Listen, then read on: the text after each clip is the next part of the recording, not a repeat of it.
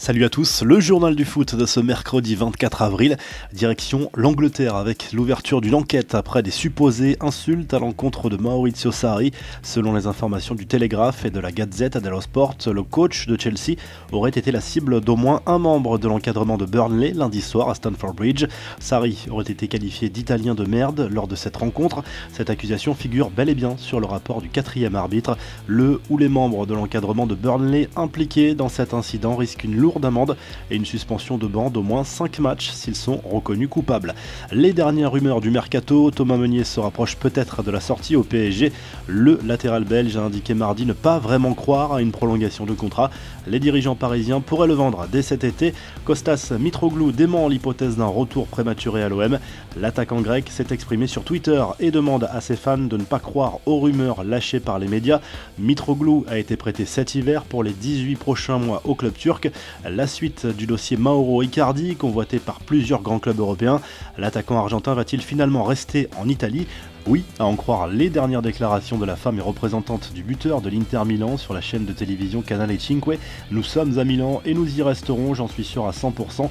Nous avons déjà inscrit les enfants à l'école, a assuré la femme d'Icardi, alors que l'international argentin semble en rupture avec ses dirigeants. Au rayon des infos officielles, les Verts ont prolongé le bail du jeune William Saliba, 18 ans, et déjà dans le viseur de plusieurs grands clubs européens. Quelques infos en bref et en images, moment historique mardi soir en Première Ligue, Southampton n'aura mis que 7 secondes à ouvrir le score à Watford en match en retard de la 31e journée. Shane Long a signé le but le plus rapide de l'histoire du championnat anglais. Le changement, c'est maintenant pour la vieille dame. Le futur maillot de la Juve avait déjà fuité, mais cette fois, ça se confirme. Le champion d'Italie aurait bien décidé d'abandonner ses traditionnelles bandes blanches et noires pour une tunique qui fait déjà polémique sur les réseaux sociaux auprès des fans.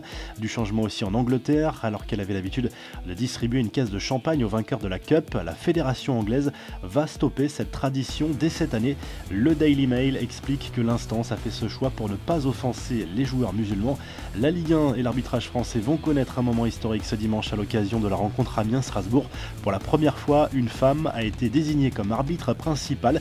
Stéphanie Frappard est également la seule arbitre française retenue pour le mondial féminin 2019.